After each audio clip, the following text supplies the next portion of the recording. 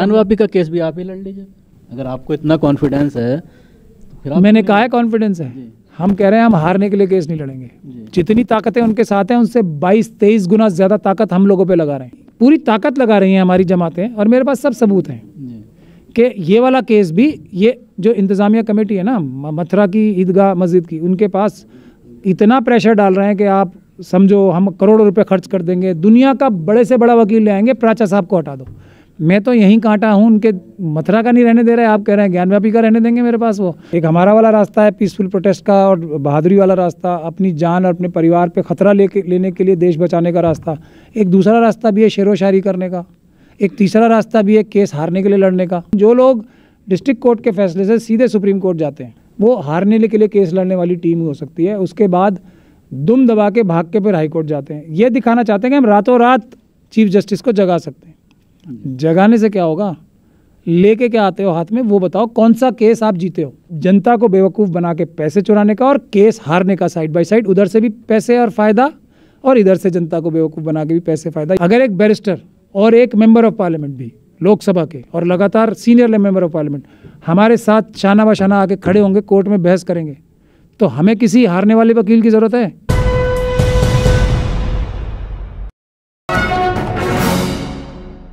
Supreme court की एक टिप्पणी मंडे को आई, जिसको लेकर बड़ा हंगामा हुआ सोशल मीडिया में कि बड़ी शानदार तबसरा किया है, लोकतंत्र का मज़ाक उड़ाया जा रहा है। लेकिन कोई फैसला जब आने की बात होती है, फैसला ये भी दिया जा सकता था कि कैंसिल किया जाता है इलेक्शन को। इसके साथ ही मुसलमानों के इश्यूज़ पर अगर हम बात करते हैं सबसे बड़ा मामला ज्ञानवापी की मिसाल है कि दो घंटा पहले फैसला देता है जज रिटायरमेंट से। और सुप्रीम कोर्ट भी देख रहा है, तमाम हाई कोर्ट भी देख रहे हैं। मुस्लिम जमातों का ये कहना है कि हम रात में ही सुप्रीम कोर्ट पहुँचे। सुबह हमें वापस भेज दिया गया कि आप हाई कोर्ट जाइए।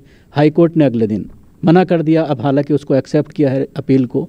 तो क्या कहना चाहेंगे कि ये सारी महज दिखावा है सुप्रीम कोर्ट का?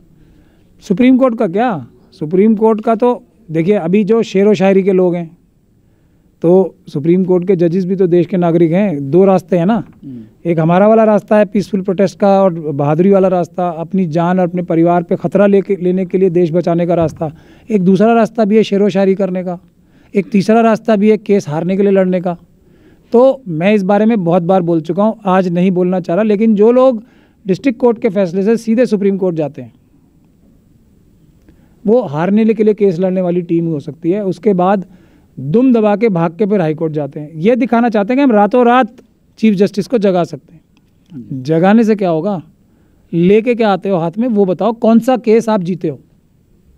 इतने बड़े बड़े वकीलों को करके भी और वकील साहब आपके कहते हैं ऐसी कई मिसाल हैं कि सुप्रीम कोर्ट ने रिलीफ दिया है डायरेक्ट इनको दिया है? सुप्रीम कोर्ट ने बहुत सारी मिसालें मैं ही बता दूँगा अर्नब गोस्वामी को दिया है। दिया है ना? तो वो अर्नब गोस्वामी को दे सकते यहाँ भी तो ये लग रहा था कि रात में पूजा शुरू हो सकती है और जो हुई भी रात के दो बजे। फिर वही लगा था तो हाई कोर्ट जाना चाहिए था ना। मैं ये बता रहा हूँ आपको क्योंकि हाई कोर्ट में सुप्रीम कोर्ट में ये बताने की बहुत आसानी हो जाती है कि हमने करोड़ों रुपए वक- खर्च करके वकील किया और रातों रात जगाया तो और भी कई करोड़ रुपए खर्च हो गए हमारे। आप गेम समझिए जब तक गेम नहीं समझेंगे कोई सोल्यूशन नहीं होगा। गेम जनता को बेवकूफ़ बना के पैसे चुराने का और केस हारने का साइड बाय साइड उधर से भी पैसे और फ़ायदा और इधर से जनता को बेवकूफ़ बना के भी पैसे फ़ायदा। ये कोई सिर्फ़ मुस्लिम्स के साथ ही नहीं हो रहा और भी कम्युनिटी के साथ ऐसा हो रहा है। लेकिन कम्युनिटी का काम ये है कि ऐसे लोगों को बेनकाब करे या मजबूर करे कि ईमानदारी से काम करो बेईमानी से काम मत करो। काट की हांडी है एक बार चढ़ती है लेकिन यहाँ तो ये काट की हांडी बार बार वही चढ़ा रहे हैं। हर बार भाग के सुप्रीम कोर्ट आते हैं हर बार सुप्रीम कोर्ट से धक्का खा के फिर नीचे जाते हैं। तो क्या लगता है आपको अब आपका लगने का बात यह है कि हालाँकि मुझे ये बात कहनी नहीं चाहिए क्योंकि आरएसएस और बीजेपी और ताकत से हमारे पर हमला करेगी। ये मथुरा के केस में ऐसा सब क्यों नहीं हो पा रहा? क्यों नहीं हो पा रहा? तो कल तो मुख्यमंत्री ने कहा है कि तीन गाँव दे दो उसमें मथुरा मैं तो विधानसभा से बोल रहे हैं वो विधानसभा से एक संवैधानिक पद पर बैठा हुआ मुख्यमंत्री ये बोल रहा है कि पाँच गाँव मांगे थे कृष्णा ने हम तो तीन मांग रहे हैं। पर हमने तो अप्रैल तक स्टे ले रखा है सुप्रीम कोर्ट में पर हम गए थे पहले हाई कोर्ट ही। हम्म। क्योंकि वही सही रास्ता है। हमने तो ले रखा है ना और ऐसा ले रखा है कि जिसमें मुख्यमंत्री तक ये वाली स्टेटमेंट्स दे रहे हैं और उन्होंने किस प्रकार के क्रिमिनल्स जो आरएसएस और बीजेपी के हैं उनको हमारे खिलाफ 22 23 उनमें से कई क्रिमिनल्स भी हैं।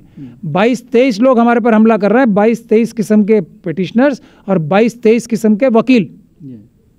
तब भी हम लोग अपना ग्राउंड होल्ड कर रहे हैं।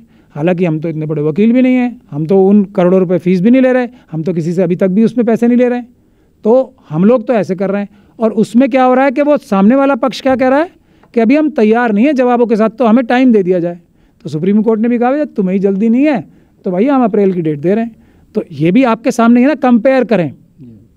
कंपेयर करें। जो हमारे, मेरी शिकायत और मेरा दर्द उन लोगों से है जो हमारे कम्युनिटी के मेंबर ऑफ़ पार्लियामेंट और ट्रेंड लॉयर्स हैं। यहाँ से नहीं लंदन से ट्रेंड लॉयर्स हैं।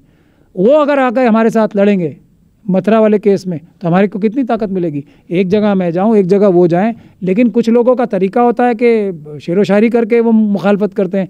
कुछ लोगों का तरीका होता है वो अदालत में लड़के। जो बेसिक बात है देखिए जो जो बैरिस्टर होता है वो एक जो ये निज़ाम है जैसा भी हमारा निज़ाम है अच्छा है बुरा है मैं लोगों पे छोड़ता हूँ बैरिस्टर उसमें हैरारकी में सबसे ऊपर होता है। अगर एक बैरिस्टर और एक मेंबर ऑफ़ पार्लियामेंट भी लोकसभा के और लगातार सीनियर मेंबर ऑफ़ पार्लियामेंट हमारे साथ शाना बशाना आके खड़े होंगे, कोर्ट में बहस करेंगे। तो हमें किसी हारने वाले वकील की ज़रूरत है?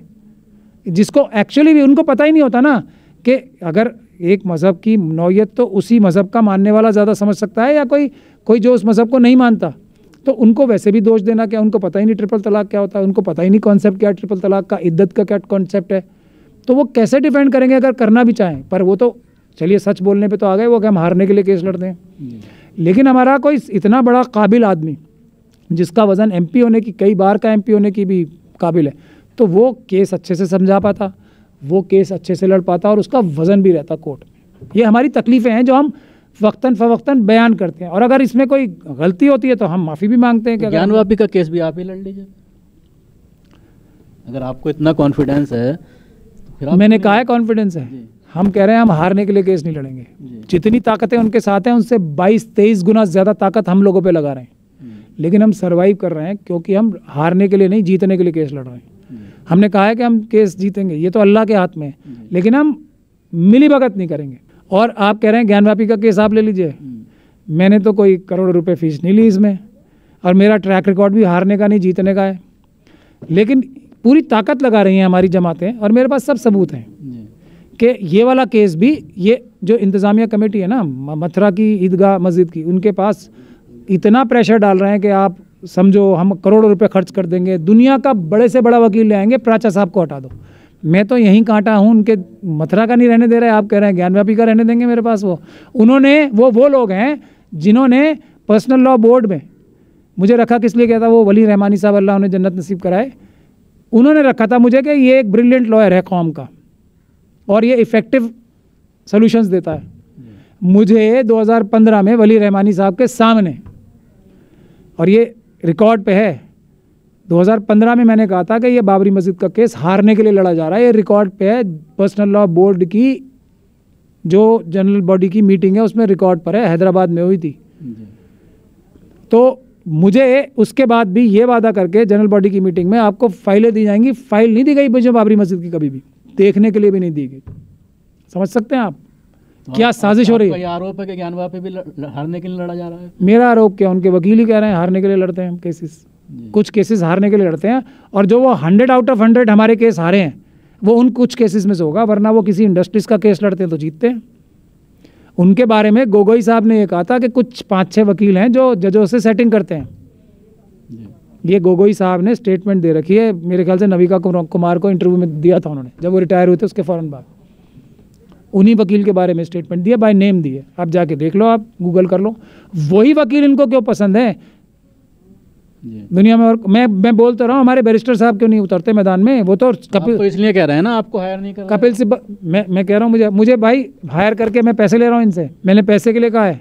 मैं तो हिसाब भी नहीं मांग रहा इनसे कि कितने हज़ारों करोड़ रुपए इकट्ठे किए बाबरी मस्जिद के लिए ट्रिपल तलाक के लिए और इसके लिए। मैंने तो हिसाब भी नहीं मांगा। लेकिन बात पैसे की नहीं है। पैसे ले रहे हो तो जनता को बताओ भी हमने इतने पैसे लिए और इतने खर्च किए। पैसे और जो पैसे नहीं ले रहा उसकी कम से कम कुछ तो तारीफ़ करो, उससे वो केसेस तो मत छीनो जो उसके पास हैं। उसके अपने पैसे का इस्तेमाल करके उससे वो केसेस तो ना छीनो। और मैंने कहा है कि मैं करूँगा ज्ञानवापी का केस मैंने तो नहीं कहा। आप करो, लेकिन जीतने के लिए लड़ो, मैं तो इतना कह रहा हूँ। मुझे भी, मैं भी हट जाऊँगा मथुरा से, लेकिन जीतने के लिए तो लड़ना शुरू करो आप। इतनी सी बात है बस।